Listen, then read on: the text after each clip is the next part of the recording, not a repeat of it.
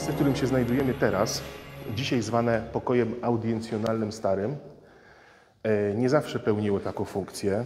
E, W XVII wieku była to jedna z najważniejszych sal zamku. Dla mnie osobiście jest to jedno z najważniejszych wnętrz dla całej tysiącletniej historii państwa. Tutaj mieściła się bowiem za czasów wazowskich sala senatorska. I to tu, dokładnie w miejscu, gdzie stoję, 1611 roku odbyło się jedno z najbardziej e, najistotniejszych politycznie wydarzeń w historii Rzeczpospolitej obojga narodów. Otóż po wygranej przez Stanisława Żółkiewskiego bitwie pod Kłuszynem, po zdobyciu Kremla, polski wódz przyprowadził tutaj wziętych do niewoli trzech carów szujskich. Nominalnego cara Wasyla Szujskiego, dowódcę wojsk rosyjskich Dymitra Szujskiego oraz ich brata Iwana. Przejechali oni w karecie przez krakowskie przedmieście. Tu zostali wprowadzeni. Nie wiem przy której ścianie, ale załóżmy, że tutaj siedział na tronie Zygmunt III, a rosyjscy carowie tu na kolanach bili czołem yy, w podłogę, oddając hołd polskiemu władcy. Było to tak doniosłe wydarzenie i taka zadra w rosyjskiej historii, że za czasów Putina sam fakt wyrzucenia Polaków z Kremla w 1612 roku uznany został za najważniejsze rosyjskie święto państwowe. Także im to dla nas jest ważniejsze, tym to dla nich jest bardziej haniebne i chcieliby to ze swojej historii wyrzucić. Niestety świetne zwycięstwo Żółkiewskiego nie zostało politycznie wykorzystane przez króla, który nie zgodził się na to, żeby król, królewicz Władysław został carem i przeszedł na prawosławie, co niestety doprowadziło do wieloletnich konfliktów z carstwem rosyjskim i w konsekwencji do tego, co się wydarzyło sto kilkadziesiąt lat później.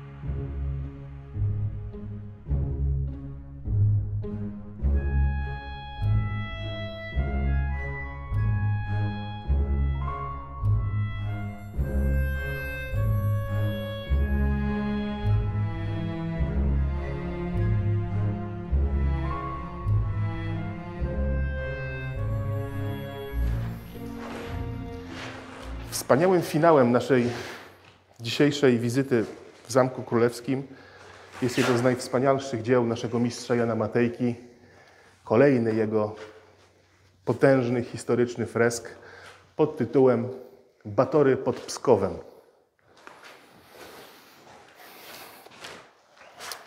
Król Stefan Batory, Węgier z pochodzenia, nigdy nie nauczył się mówić po polsku.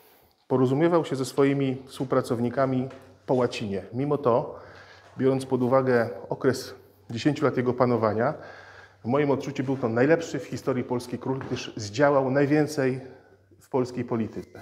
Przede wszystkim złamał on potwornego Iwana Groźnego. Iwan, myśląc sobie, że Stefan jest słabym władcą, zaatakował polskie inflanty, czyli dzisiejsze tereny będące w granicach Łotwy i Estonii.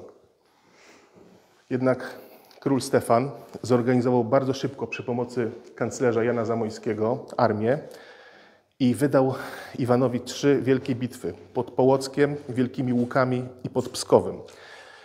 Połock i Wielkie Łuki były przez Polaków wygrane. Były to świetne zwycięstwa, natomiast Pskowa nie udało się zdobyć, ale Rosjanie byli już tak zmęczeni i wyniszczeni wojną, że przysłali posłów, którzy w imieniu Iwana Groźnego błagali polskiego króla, żeby już przestał prowadzić kampanię wojenną. Oni rezygnują ze wszystkich zdobyczy terytorialnych, byle już Polacy przestali ich bić, mówiąc kolokwialnie. I mistrz Matejko namalował tutaj pewną fikcyjną scenę, która jest kompilacją kilku wydarzeń, ponieważ wojna nie, nie, zakończyła się w ogóle pod Pskowem, tylko rozejmem w Jamie Zapolskim. Takiej miejscowości, w której podpisano traktat, z tego co pamiętam, wieczysty pokój między Polską a Carstwem Rosyjskim, w którym to Rosja zrzekała się wszelkich pretensji terytorialnych i oddawała Polsce wszystko, co podczas tej wojny udało im się wyrwać. Jak przedstawił tą scenę Matejko? Oczywiście, jak to wcześniej było powiedziane, mistrz ujął wiele symbolicznych elementów w swoim obrazie. Spojrzawszy od lewej strony, co tutaj mamy? Mamy tutaj kanclerza Jana Zamojskiego, największego przyjaciela i najwierniejszego współpracownika, właściwie prawą rękę króla Stefana. Jak pamiętacie z naszego odcinka pod tytułem Samuela Zborowskiego Zbrodnia i kara, to właśnie Jan Zamojski był architektem e, i inicjatorem procesu i skazania i ścięcia wielkiego warchoła Samuela Zborowskiego. Wiemy, że jest to e, Jan Zamojski po tym, że trzyma on w ręku pieczęć. Był on wtedy wielkim kancerzem koronnym, którego charakterystycznym elementem urzędu była właśnie ta wielka pieczęć Królestwa Polskiego. Sam król, wtedy około będący przed pięćdziesiątką, siedzi w niezwykle bogatej szacie, w płaszczu, ze złotym napierśnikiem. W ręku trzyma miecz. Jego lewa dłoń dotyka głowni w takim geście, że na razie zawieramy pokój, ale ten miecz może być w każdej chwili przeciwko Wam, czyli Rosjanom, użyty. Spójrzcie na to, na czym leżą stopy króla. Stopy króla leżą na skórze niedźwiedzia. A jak się mówi o Rosji? Że jest to wielki wschodni niedźwiedź. I tutaj Matejko symbolicznie pod stopami polskiego króla umieścił skórę wielkiego wschodniego niedźwiedzia. Kolejna charakterystyczna postać to ten oficer w zbroi husarskiej z dwoma skrzydłami. Widzicie tutaj? Ten, który trzyma tak yy, szablę. Jest to późniejszy hetman wielki koronny, zwycięzca spod Kłuszyna, Stanisław Żółkiewski. Jeden z najwybitniejszych polskich wodzów. Wtedy młody oficer na służbie y, polskiego króla, wykonujący y, rozkazy y, kanclerza Zamojskiego. Na środku ta czarna postać to jest nuncjusz papieski wykonujący tajemniczy gest. Ja nie jestem w stanie rozczytać, co autor miał na myśli, malując tą postać centralnie i co te jego palce mogą oznaczać. Natomiast jeszcze tutaj ta postać w zielonym yy, żupanie, yy, która stoi tyłem do widza, to jest jeden z rodu zborowskich jeden z rodu Zborowskich, prawdopodobnie brat Samuela Zborowskiego. I to, że stoi on tyłem do króla, symbolizuje konflikt, jaki, łączył, jaki dzielił tą rodzinę i majestat królewski oraz współpracującego z królem Jana Zamojskiego. Tutaj mamy cztery postaci rosyjskiej delegacji. Czterej dostojnicy. Jeden klęczy i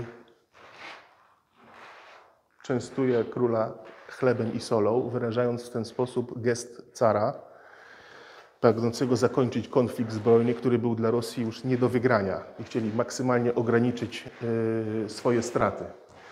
Dalej, ta otyła postać to jest jeden z bojarów, który tutaj za chwilę przyjmie gest takiej uniżoności. Kolejny bojar już czołem bije w tradycyjnym rosyjskim geście poddaństwa. I Kolejny rosyjski rycerz tutaj z, e, widzicie jego zamyśloną twarz z charakterystycznym wschodnim hełmem, z takim czubkiem. E, widok e, jego twarzy, jego sposób patrzenia no nie, nie, wymaga, myślę, komentarza, jest dostatecznym dowodem na to, jak, w jakich nastrojach delegacja rosyjska przyjechała do polskiego króla. Zobaczcie, tutaj spojrzenie pełne rezygnacji, jeden z bojarów czołem bijący, a tutaj dumny król, pokazujący jednym gestem, dotykający tak głowni szabli, że jeśli tylko nie dotrzymacie warunków pokoju, to ta szabla może się z powrotem przeciwko wam obrócić. Jak wiemy z historii, ta wojna nie była ostatnio wojną polsko-rosyjską. E, po śmierci Iwana Groźnego nastąpiła w Rosji tak zwana wielka smuta. E, władzę objął Borys Godunow, potem były tak zwane dymitriady, pojawiło się wielu samozwańców, którzy e, twierdzili, że są cudownie ocalonym synem Iwana Groźnego. Była nawet taka sytuacja, że córka wojewody sandomierskiego, Maryna Mniszchówna, została carycą Rosji. Taki mieliśmy wpływ na politykę rosyjską, że córka polskiego wojewody siadała na tronie moskiewskim. Ale to było 400 lat temu, sytuacja teraz jest inna, więc okres naszej chwały i świetności możemy obejrzeć wyłącznie na obrazach naszego mistrza.